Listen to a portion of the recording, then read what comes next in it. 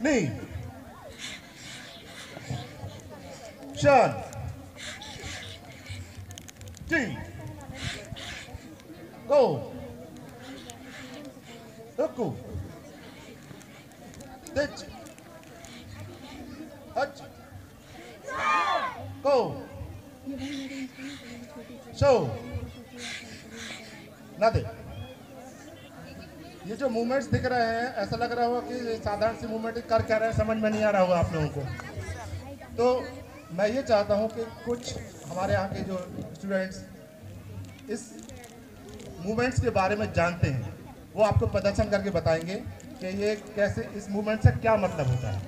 तो मैं बुलाना चाहूँगा Neeraj Patel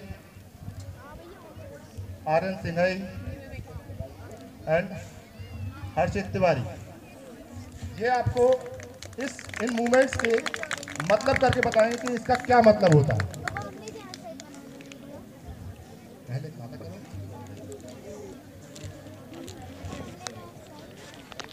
पेरेंट्स में से जो भी पेरेंट्स की जो इवेंट होने वाली है उनमें पार्टिसिपेट करना चाहते हैं। स्टूडेंट्स आपके पास आ रहे हैं प्लीज़ आप अपने नेम उन्हें नोट डाउन करवा दीजिए। सभी पुरुष वर्ग और महिला वर्ग के लिए है। अलग अलग इवेंट्स हैं। आप कृपया बच्चों को